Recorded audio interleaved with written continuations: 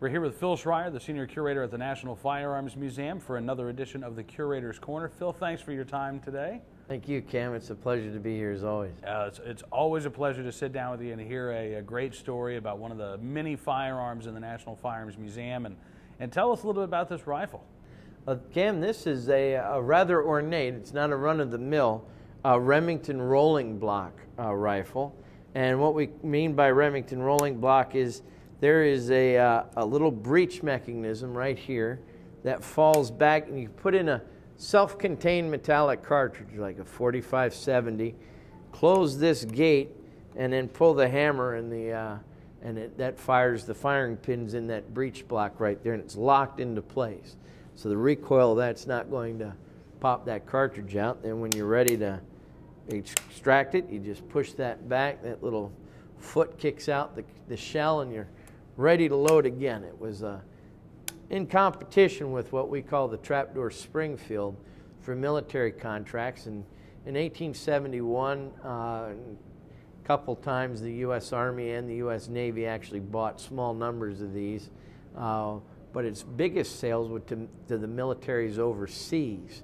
Uh, Egypt, Mexico, a number of South American countries uh, bought a lot of these Remington rolling blocks uh, for their military use. Uh, yeah, I was going to ask. I mean, in in the early 1870s, I'm guessing our U.S. Army and Navy uh, weren't actually uh, buying a whole lot of firearms. They still had a lot of surplus left over from the uh, the Civil War that eventually got sent overseas as well in many cases, right? Right. Uh, big deal was with the Civil War surplus, and the reason why those guns went so cheap, literally a quarter, 50 cents, was because they were still percussion uh, you know, they call cap and ball. They were still muzzle loaders.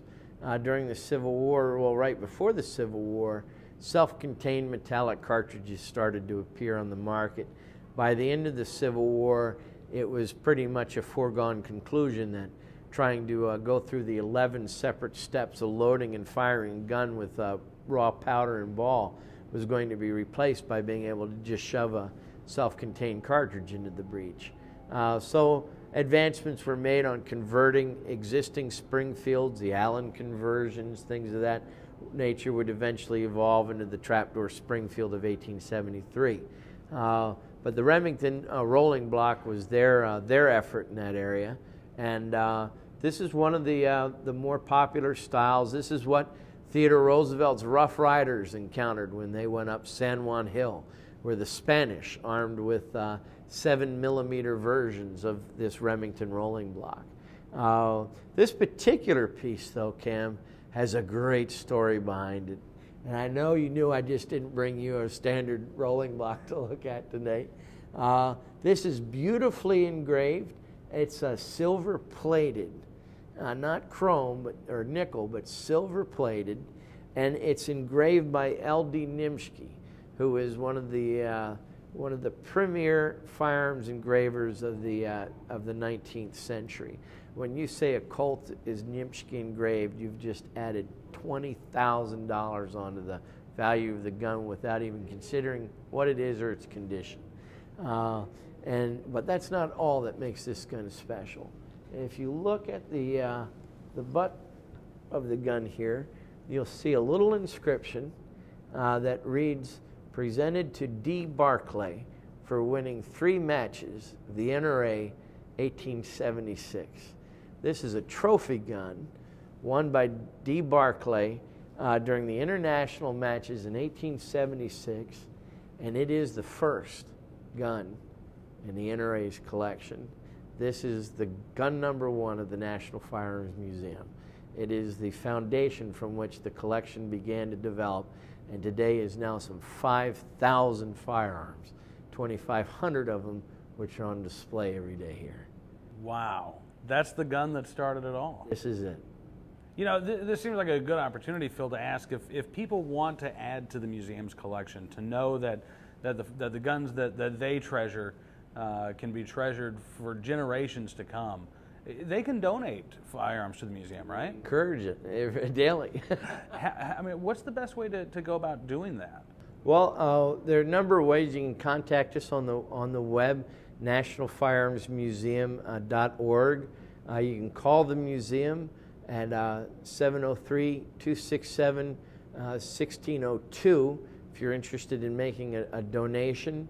Uh, they are tax deductible when they're made to the NRA's, uh, the NRA Foundation's National Firearms Museum Endowment.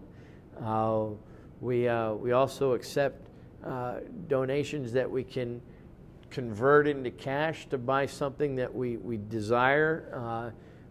We, we, we look for you know all kinds of venues to be able to uh, facilitate the programs of the museum.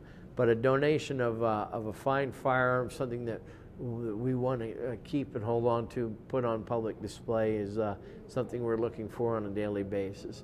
And out of the 5,000 guns that are in the museum currently, there are only about a dozen that we've actually purchased. All the others have been through donations. That's fantastic. Yes, it is. All right, and- and- testament to our, our members and friends. And gun number one is on display, right? It, well, uh, gun number one is normally on display in our orientation gallery, but we're beginning to uh, redesign and revamp that entire area.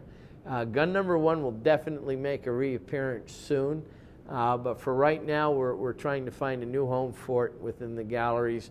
But uh, look for it at the start of the summer, she'll be back on exhibit. Well, I'm glad that uh, folks could take a look at it uh, online here in the Curator's Corner. And Phil, thank you so much, sir.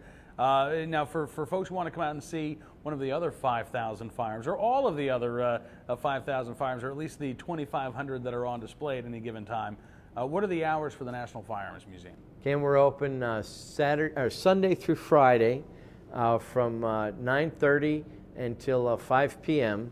and on Saturdays from 9:30 until 7:30 p.m. And that's seven days a week, all year round.